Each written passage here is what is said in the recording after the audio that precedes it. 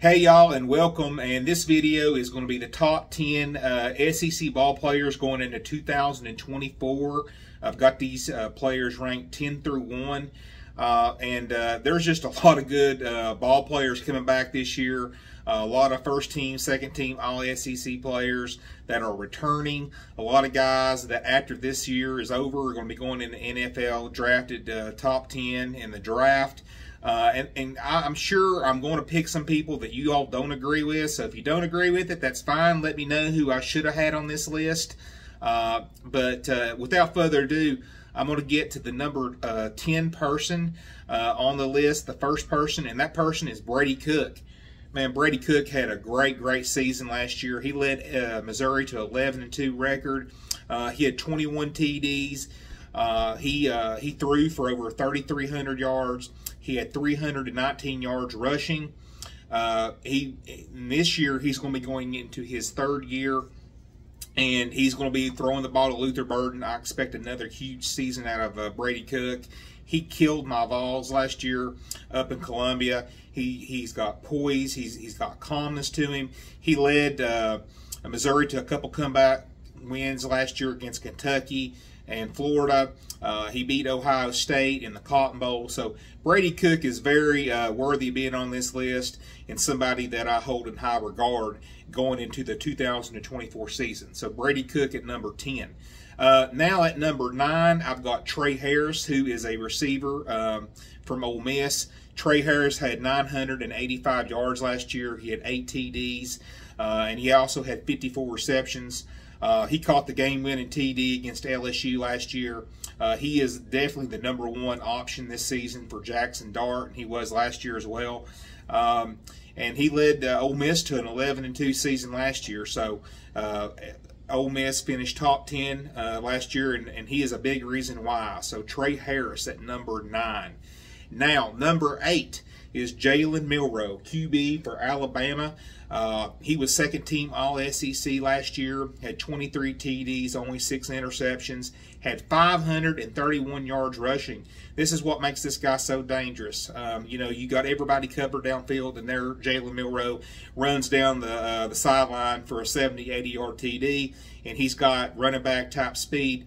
Uh, made really, really big plays last year. You know, they lost early to Texas, and they come back and won all those games until they lost to Michigan in the playoffs. Uh, made that throw to Isaiah Bond uh, in the Auburn game. Uh, led them to beating Georgia in the SEC championship game. Jay, so Jalen Milroe is very tested, very good quarterback, and somebody I have a ton of respect for. So number eight, Jalen Milroe. Uh, and now, speaking of Isaiah Bond, uh, I've got him at number seven. Uh, Isaiah Bond was at Alabama last year. He has transferred to Texas. Uh, he had 48, 48 uh, receptions last year for 668 yards. This guy's super fast. He uh, he's been clocked at a 4.240. Uh, he's one of those guys. If you let him get behind you, he's gone. Uh, and uh, he had a great year last year. Uh, Burden and uh, and Bond were obviously Milroe's two big tar targets last year. Texas offered him a lot of money to go there. He looked really good in the spring for Texas, and I expect him to have better numbers this year with Texas than he did last year with Alabama. I expect I expect uh, Isaiah Bond to have at least 700 plus yards this year at the minimum. Uh, wouldn't be surprised if he goes for over a thousand yards. Honestly, he's just that kind of receiver. And uh, so Isaiah Bond at number seven. Uh, now uh, number six um, is Carson Beck, and I think Carson Beck will be uh, in New York for the Heisman presentation. I don't know if he'll win it, but I expect Georgia to go undefeated, just to be honest with you. And typically, uh, if you're one of the better players on one of the better teams, you go to New York. And I think Carson Beck will be there in December. Uh, he is a QB. He's going to be in his second season as a starter. He was second team All SEC last year. Guy had over 3,900 yards throwing. He had 24 TDs. Uh, he led Georgia to the SEC championship game in which they lost to Alabama, uh, but they beat FSU in the Orange Bowl. Uh, he's got a ton of weapons re uh, returning, and he's going to have another phenomenal year. And uh, I expect him to be uh, drafted pretty darn high next year in the NFL draft. But Carson Beck, a big year. I expect him uh, to have this year for Georgia, and he's at number six. Uh, now at number five, I have Harold Perkins. He is a defensive end at LSU. Uh, this guy, he just had five and a half sacks last year, but he was injured a lot of the season. Uh, he had seven and a half sacks in 2022 as a freshman.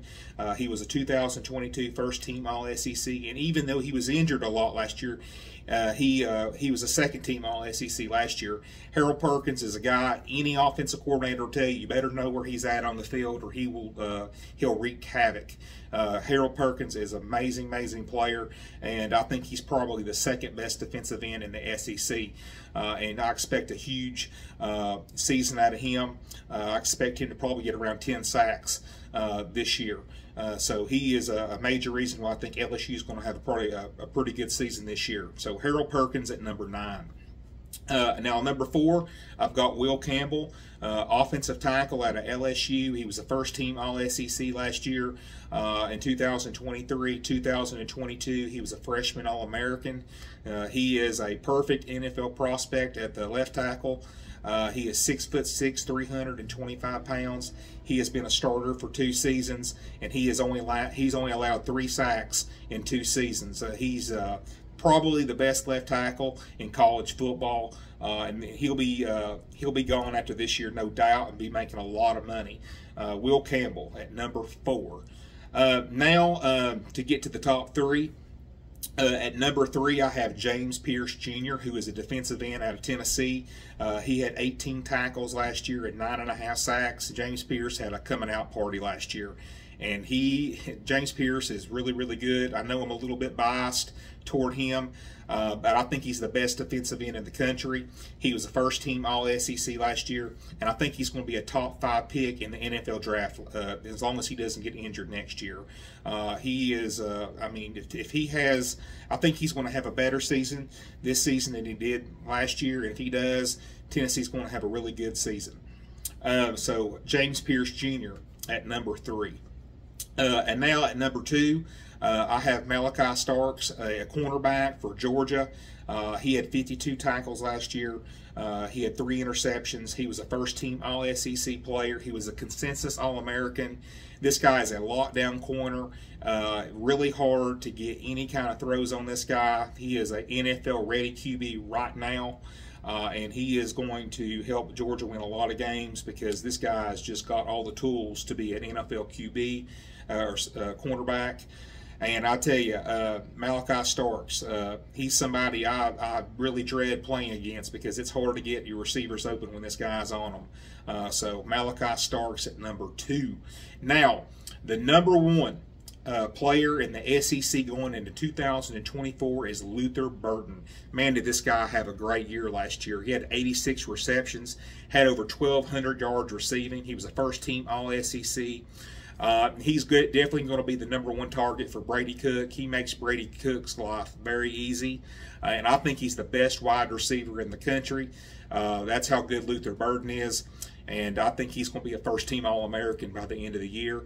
Missouri's got a pretty favorable schedule, too, so I expect Missouri probably to win at least 10 games this year, and Luther Burden is going to be a big reason why. So anyway, that is my top 10 players of the uh, SEC in 2024. If you don't agree with me, let me know why, and uh, I love to I love to hear back from you guys. I'll talk to you later. Thank you.